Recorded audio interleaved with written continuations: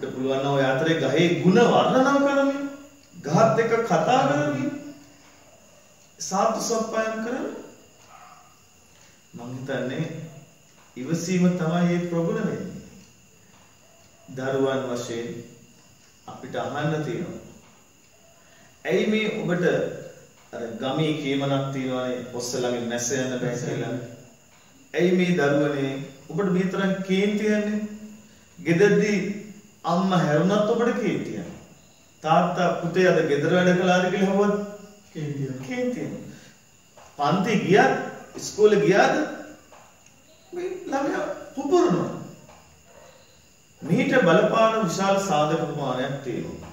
අපි අද මාතෘකාවට ජ්‍යෝතිෂය මනෝවිද්‍යාව ඉතිහාසය සම්බුද්ධ බුද්ධ ධර්මය බුද්ධ දර්ශනය මේ පරිසරය මේ අදි වශයෙන් බොහෝ කරුණු කාරණා විෂය අනුබද්ධ දැනුම අපි අපේ ප්‍රේක්ෂකයන්ට ලබා දෙන සූදානම් වෙනවා ජාලිය. එසා දැන් මේ මොහොතේ පටන් ඔබ ඉවසීම ප්‍රගුණ කළොත් ඔබට හැකි විදිහට ඔබ ජයගන්න පටන් ගන්නවා. එසේනම් අපේ වනාන්තරය ගත්තොත් සම්වර්තාවේ තියෙන ජාලය අපිට ඇත්තටම ගත්තොත් ඒ වනාන්තරය සන්තෘප්ත වනාන්තරයක් නම්. ඒ වනාන්තරයෙන් අඩු ගානේ අපිට ලී කෑල්ලක් හෝ අඩු ගානේ ගලක් හෝ එළියට ගේන්න තහනම්. අපි සිංහරාජ වනාන්තරයට මේ දරුවෝ යන්නේ නැති වැඩි හිටියෝ තරුණයෝ යන්නේ නැති. ඔබ සිංහරාජ වනාන්තරයෙන් නැවත ගෙදරට මොනවා හරි භෞතික වස්තුවක් ගෙනවම ඔබ ඉවසීම දන්නේ නැහැ. ඇයි? අර වනාන්තරයේ එයා ස්වභාවික සමතුලිතතාවයෙන් ඉන්න වනාන්තරයට අපි තව ඒ රකින්න මිසක් එහින් දේවල් ගෙදර ගේන එක අපි අර ඵලදායි ප්‍රතිචාර දක්වා වෙන්නේ නැහැ. අර ඉවසීමෙන් ඉහළ තලයකට ඇවිල්ලා තියෙන වනාන්තරයකට අපි ගිහිල්ලා බාධා කළා වෙනවා. අපි යමක් ගෙනාවා. අපිට මතක ගේන්න අයිතිය තියෙනවා. අපිට සුන්දර සිනහව ඒ සුන්දර අපේ ඇඟට ගතට ආත්මයට දැනෙච්ච ඒ මහා සුන්දර හැඟීම් ගෙදර ගේන්න පුළුවන්. නමුත් භෞතික දේවල් ගෙදර ගේන්න බෑ. එහෙනම් අපි යම් තැනකට ගියයින් පස්සේ අපිට අදාළ දේවල් ගේන අතරේ අපිට අදාළ නොවන දේවල් ගේන්න ගියොත් එතන අපි ඵලදායි ප්‍රතිචාර දක්වලා නැහැ ස්ථානයට. අන්න ගට්ටන. එහෙනම් ඔබ ගට්ටන අවම කරගන්නවා නම් එහේ ඉවසීමේ හොඳම අවස්ථාව. පෘතුලි දැන් තියෙන මේ ප්‍රශ්නයක් තමයි මේ හරියටම යම්කිසි පුද්ගලයෙක්ට පලදායි විසීම කියන කියන මොකක්ද කියලා හරියට තෝරා බේරාගෙන හරි තීරණවලට එළවෙන්න ඔවුන්ගේ චින්තන ශක්තියේ යම් දුර්වලතාවයක් තිබෙනවා දෝ කියලා මට සැකයක් තියෙනවා මේ මේ අපිට එදිනෙදා අහන්න ලැබෙන තොරතුරු අනුව. තාම හොඳ ප්‍රශ්නයක් ජාලය. අද මේ දරුවන්ට තරුණයන්ට වැඩිහිටියන්ට ඔබ කිව්ව දේ හරියටම හරි. මොකද්ද මේ ඵලදායි ඉවසීම? ඉවසීම කියන වචනේ අහලා තියෙනවා. අපි මේ හඳුන්වා දෙන ඵලදායි ඉවසීම කියන්නේ මොකද්ද? එහෙනම් අපි ඉවසුවා නම් අපිට යම් ප්‍රතිඵලයක් ලැබෙන දෙයක් අපි මේ කියන්නේ. අපි අපිට ඉතිහාසයෙන් වගේ වර්තමානයේ බොහෝ කරුණු කාරණා උදාහරණ ගන්න පුළුවන් ජාලි මේ සඳහා. අපි හිතමුකෝ සරල උදාහරණයක් ගමුකෝ. කිසියම් දරුවෙක් විභාගයට සූදානම් වෙනවා. ඕනෑ විභාගයක්. වාර විභාගයක්, ශිෂ්‍යත් විභාගයක්, O level, A level ඕ ඊටත් එහා විශ්වවිද්‍යාල මට්ටමේ හෝ ඊටත් එහා විභාගයට සූදානම් වෙනවා නම් මේ දරුවා තමාව තමාට තහවුරු කරගන්න ඕනේ. තමාට තමාව එකඟ කරවා ගන්න. ජාලිය අපි අපේ ශරීරයේ සෑම පද්ධතියක්ම අපේ විඥාණයට ගැට ගැහිලා තියෙනවා. ඒ එකකතාවය. ඒ කොම්ප්‍රොමයිස් එක. එය විශ්වය මගින් ඇති කළා වූ ඇති කරගෙන යන්නා වූ අපිට මැදිහත් වෙන්න පුළුවන් සීමා සහිත ප්‍රමාණයක්. ඒතර අපි ඉච්ඡානුගත අනිච්ඡානුගත චලනයන් තියෙනවා අපේ මනුස්ස ශරීරේ. අපිට පාලනය කරන්න බැරි බොහෝ තැන් තියෙනවා. ඒ පාලනය කරන්න බැරි බොහෝ තැන් අපේ ශරීරය අපේ සචේතනිකව විඤ්ඥානවට විඤ්ඥානයිකව එකඟ වීමක් තියෙනවා ජාලිය ඒ එකඟ වීමක් තියෙනවද කියලා හොයාගන්න පුළුවන් වෙන්නේ ඔයාලා කිව්ස්මක් කෙනෙකුට බලන්න ඔයා උමනාව කිව්ස් යවලා නැහැ. හැබැයි අර ප්‍රතික්‍රියා ගන්නට වැටෙන්නේ. නමුත් අපිට ශරීරයෙන් අපිව ආරක්ෂා කිරීම සඳහා ඒ ශරීරය නියම වෙලාවේදී ප්‍රතිචාර දක්වනවා එහෙනම් ශරීරයේ අපි කරන කියන සෑම දෙයක්ම ඉවසගෙන ඉන්නේ බලාගෙන ඉන්නේ නැහැ කියලා කියන්න පුළුවන්ද? ඒ බලාගෙන හිටිය නිසා නේද? කකුලට ඇණයක් එනකොට කකුලට ඇණයක් වදිනකොට දැනෙනකොට සමහර ඇණෙන්නක් ඉස්සෙල්ලා අපේ පය අහකට ගන්නවා. ගින්දරක් දැනෙනකොට අපේ ශරීරයට ආසන්න අපි ප්‍රතික්‍රියා දක්වනවා. ඇහැගාවට යමක් යම්කිසි බාධකයක් ලැබෙනකොට ඇස පිල්ල මේගෙන් ගැහිලා ඇස් වැහිලා ඇස් ඉවතට ගැනෙනවා. හිස ඉවතට ගැනෙනවා. අපි මේක සාමාන්‍ය විද්‍යාවෙන් ඔබට ගියොත් මේ විශ්ව විඤ්ඥානය විශ්වත් විඤ්ඥානය මේ විශ්ව විඤ්ඥානය මේ මනුස්ස ශරීරය ගොඩනැගීමේදී පුදුමාකාර ඉවසීමකට ලක් කරලා තියෙනවා. ඒ ඉවසීමේ ප්‍රතිචාර දැක්වීම තමයි අපිට නොදැනීමේ සිදු කරන ලබන ප්‍රතීක ප්‍රතිචාරය අපේ අනුදැනුමක් නොමැතිව වෙනවා. හැබැයි ශරීරය වෙහෙසට පත්වෙන්නේ ඒ ප්‍රතික්‍රියාව නමුත් අපි මොකද කරලා තියෙන්නේ? ශරීරය වෙහෙසට පත් කරමින් තමයි ජාලය ප්‍රතිචාර දක්වන්නේ. එනම් මේ විවසීමේ අතුරු ඌමනාව අතුරු අවශ්‍යතාවයක් මිනිස්සු සලකලා නැහැ. මිනිස්සු හදවතේ සිතේ මේවා පැල පදියම් කරගෙන තමයි ප්‍රතිචාර දක්වන්නේ. හිත නිදහස් කරගන්න ඕන නේද?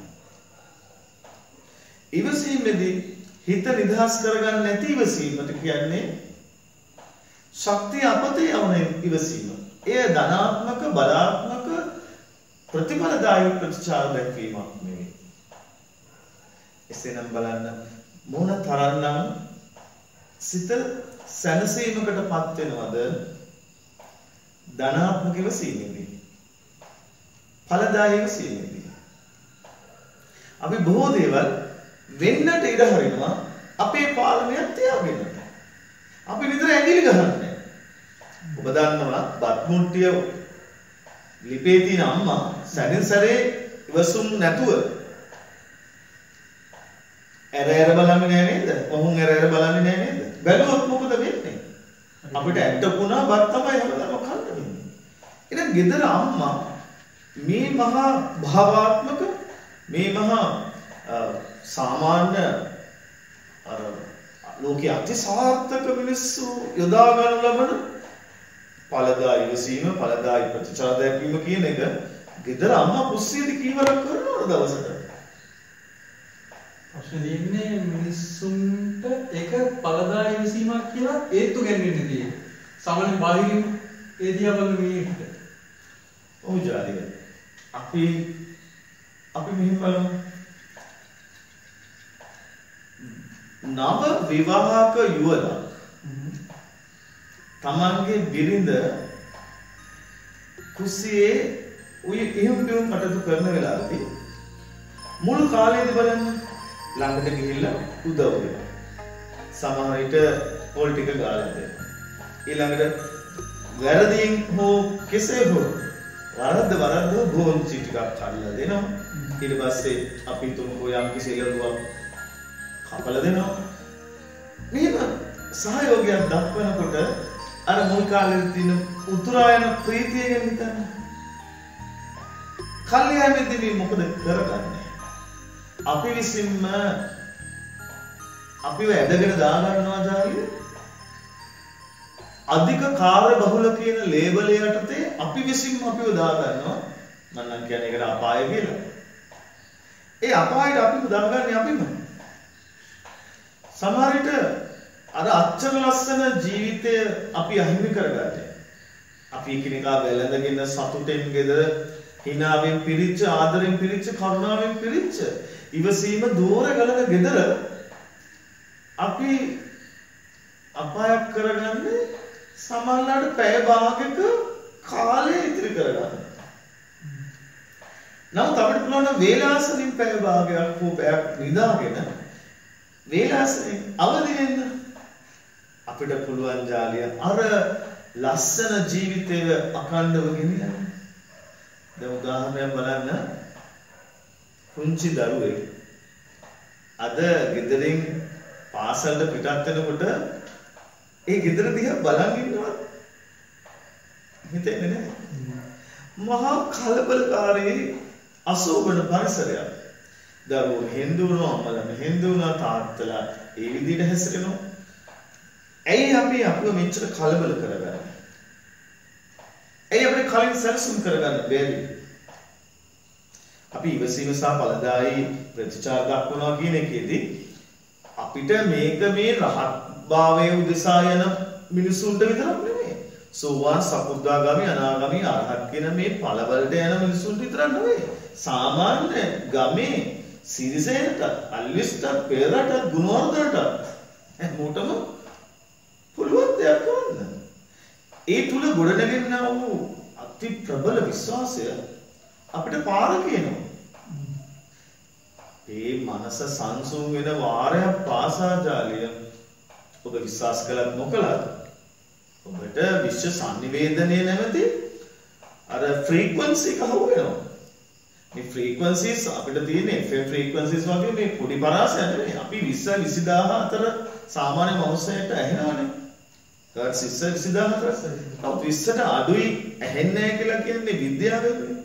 නමුත් කිසියම් මනුස්සයෙකුගේ එයාගේ විසීමේ ප්‍රමාණය එන්න එන්න වැඩි වෙනකොට එයාගේ කන් ඇසීම, ඇස් පෙනීම, දිවට රස දැනීම මේ සමට මේ දේහලිය සාමාන්‍ය වගේට වඩා ඊටම අඩු වගේදී යම් යම් දේවල් දැනීම සහ සිතට අරමුණු සංශ්ලේෂණය විශ්ලේෂණය කරගන්න පුළුවන් මේ හැකියාව ඉහළයි. ඉතාම ඉහළයි. ඒවා මයින්න බෑ ජාලි. උදාහරණයක් කියනවා නම් කිසියම් පුද්ගලෙක් ඔබ දන්නවා ඉන්දියාවේ මේ වෙනකොට ඉන්න අවුරුදු 72ක වගේ. ඔව්. පුද්ගලයෙක් ඉන්නවා පිරිමි පුද්ගලයෙක්. ඔහු බාහිරින් ආහාර ගන්නෙ නැහැ. වතුර බොන්නේ නැහැ. කොහොමද ජාලි ජීවත් වෙන්නේ? බටහිර ලෝකයේම වෛද්‍යවරු මේ අදාළ පුද්ගලයාව පරීක්ෂා කරනවා. බලනකොට මොකක්ද වෙලා තියෙන්නේ? සාමාන්‍යයෙන් ඉවසීම සතුටෙන් කරන පුද්ගලයාට විශ්ව ආශිර්වාද යටතේදී මේ විශ්වයේ ගමන් ගන්නා වූ තාම හඳුනා නොගත් බොහෝ පදාර්ථ එය අපි මේ පෘථිවිය මත හඳුනාගත්ත මුල් ද්‍රව්‍ය 120ට වගේ අදාළ දේවල් නෙමෙයි මේ. තව මොනවද ජාලේ තව කොච්චර දේවල් හොයලා තියෙනවද? ඒ ඔක්කොම කොට ලොකු කුලකයකට දාලා තියෙනවා ඩාර්ක් මැටර් කියලා. නෑ අපිට ඊට සියුම්ව බැලුවොත් එහෙම අපි හඳුනා නොගත් ශක්තියින් අර කියන ඉවසීමේ උපරිම තැන් වලට පත් වෙන පුද්ගලයන්ට ශරීරයට ආකර්ෂණය වෙනවා, ඇතුල් වෙනවා, ඇතුලේ ක්‍රියාත්මක වෙනවා. ඉතින් හිතන්නවා ආහාර ගන්න නැති ජලය පානය කරන්නේ නැති පුද්ගලයෙක් ඉන්නවා කිව්වම එහෙනම් විද්‍යාවට අභියෝගයක් ඒ පුද්ගලයා.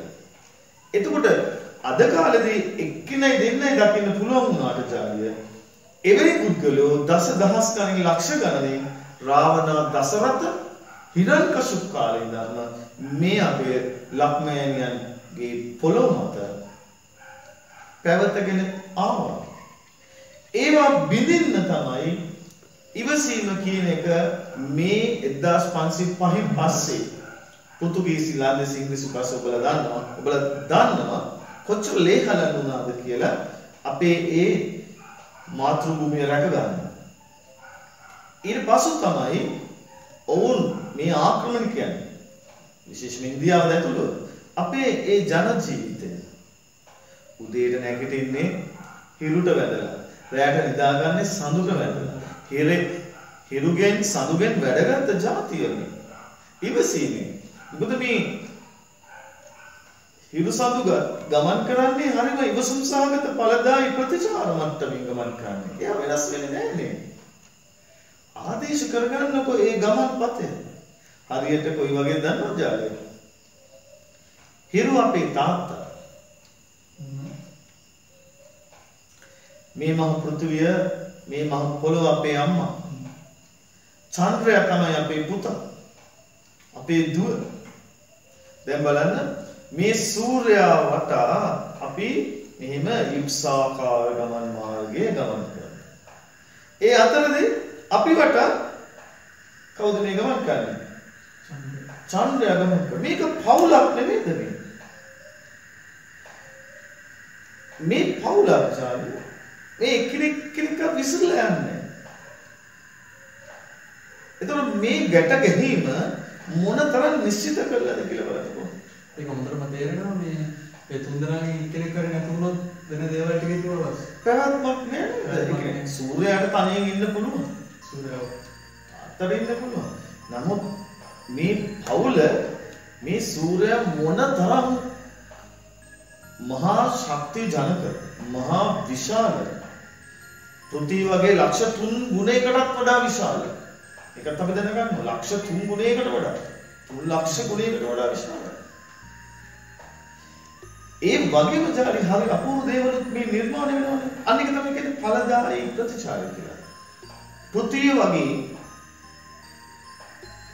108ක් වුණා මේ සූර්යාගේ විස්කම්භය දිගේ තියන්න විස්කම්භය වහන්න පෘථිවිය වගේ 108ක් වුණ සූර්යාගේ විස්කම්භය වහන්න.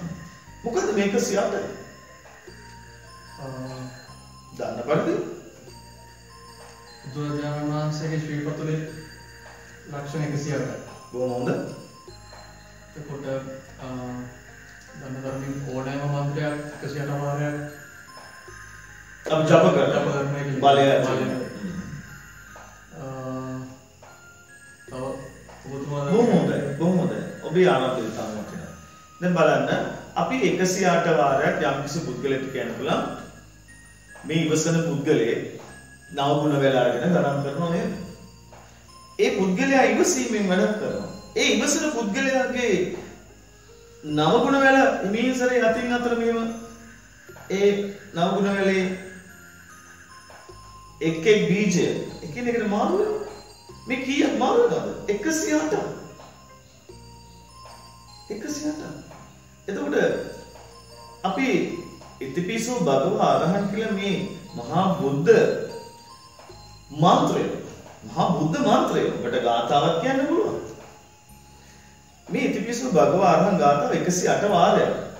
මේ නවගුණ වැඩේ අපි හිමින් හිමින් මතුර මතුර සබ්ද විද්‍යානුකූලව කිව්වොත් ගල්ලිය ඒ 108 වටේ හැදිලා එනකොට අපිට අමතර ශක්ති ආරෝපණයක් තියෙනවා. අර ඉවසීමෙන් කරන කහපාට රැස්වලල්ල බලවත් වෙලා කරන වෙලාවදී ඒ බලය තවත් වැඩි. එතකොට බලන්න ඔබ කිව්ව හරි බුදුරජාණන්ගේ ශ්‍රීපතුලේ ලක්ෂණ 108ක් තියෙනවා. එතකොට අපේ සූර්යාගේ විස්කම්භය වහන්න පෘථිවිය වගේම 108ක් ඕනේ. නවගුණ වල 108ක් තියෙනවා.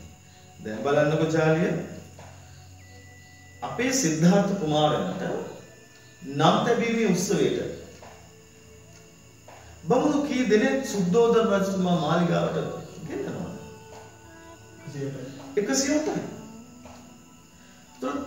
කාම තණ්හා, භව තණ්හා, විභව තණ්හා මෙය 36 වැදෑරුම් ලෙස වැඩි වෙනවා. කීයක් හැදෙනවද? 108යි. ඔබ බලන්න මේ 108 කියන සංඛ්‍යාව පුදුම සංඛ්‍යාවක්. කුමක්ද බලවත් සංඛ්‍යාවක් නේද? එතකොට මේ ස්වභාව ධර්මය අද අපේ මාතෘකාවේ හරය ඔබට ලබා දෙනවා. ස්වභාව ධර්මයේ ඉවසලා ඔබට ලබා දෙන ඵලදායක ප්‍රතිචාර කියන. ඒ ප්‍රතිචාර සංඛ්‍යාත්මකව අපි ගුණාත්මකව අවබෝධ කරගෙන අල්ලා ගත්තා අපි මේ ජීවිතය තුළ ප්‍රයෝජනවත් ලෙස යොදා ගන්න පුළුවන්. අපිට ජයග්‍රාහී ලෙස යොදා ගන්න පුළුවන්. එය අති මහත් වූ ආඩම්බරයක් මේ හෙළ ජ්‍යොතිෂයට මේ හෙළයන්ට මේ පොළොවේ ඉපදුණු ඉපදිලා ඉන්න අනාගතයේ උපදින මේ දරුවන්ට පුදුම ශක්තිවන්ත බලවත් ලෝකයේ ජයගත හැකි ආයුධ නේද මේ? ඒවා සොයන්න ලැබෙන්නේ. ඒවා ගැන ඉගෙන ගන්න ලැබෙන්නේ. ඔබේ මනස මොන වගේ දෙයක් කළොත්ද? ඉවසීම ප්‍රගුණ කරගෙන තැන්පත් මනසකට තමයි මේ විෂයන් පිළිටන්නේ. අපි 64 ශිල්පයෙන් ලෝකයේ ජයගත්තාම ඒ 64 ශිල්පයට මේ ලෝකේ සෑම දෙයක්ම වගේ බොහෝ දේවල් අන්තර්ගතයි. ආකාශයේ ඉඳන්ම වායුගෝලයේ ඉඳන්ම ජලය පස මේ ගුඩබිම මුනිසාගේ ශරීරයේ ඉඳන් පෙනෙන නොපෙනෙන අංශු සියලුම දේ අර 64 ශිල්පයට අයිති. ඒ 64 ශිල්පය ප්‍රගුණ කරපු උත්තමාවිනිකම් කියමු බලන්න. ජාලිය අපි මහමායා දේවිය පිළිබඳව දන්නේ සිද්ධාර්ථ කුමාරයන්ට උත්පත්ති ලබා දීපු මෑණියන් එතන නිකන් දකින්නේ නැහැ. ඇයි මේ? මේ වැරදි අපි දැම්මත් නිවැරදි කරන්න ඕන. මහමායා දේවිය 64 ශිල්පෙන් කෙළෙන්නේ කෙනෙක්.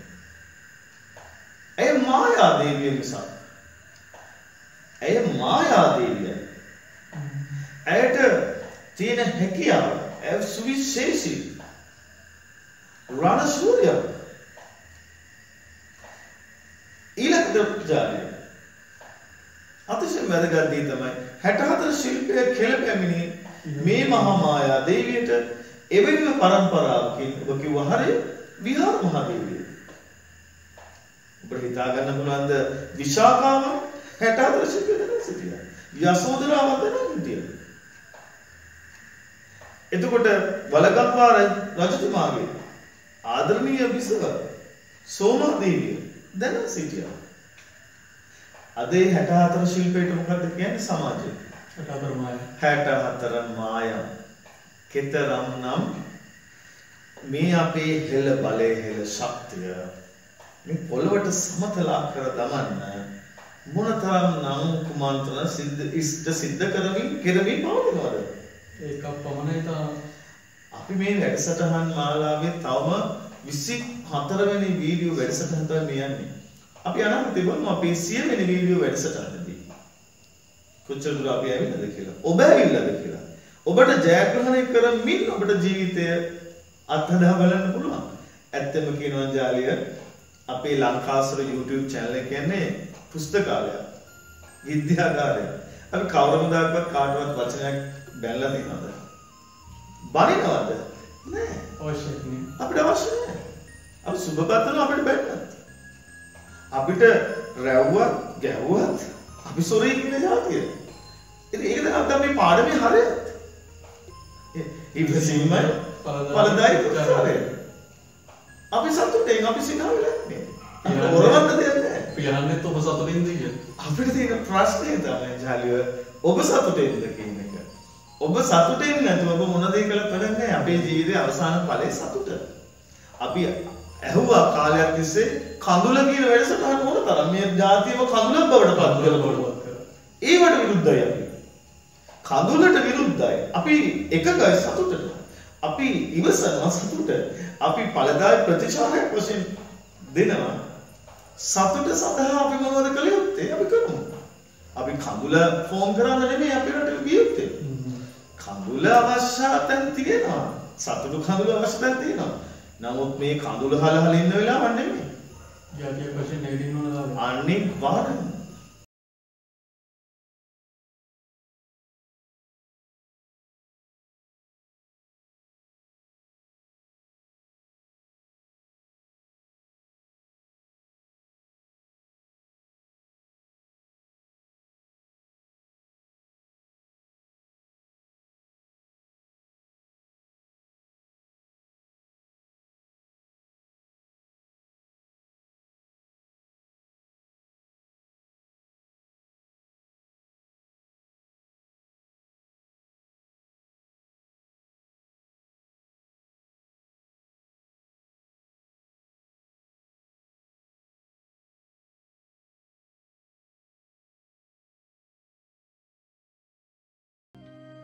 Yeah.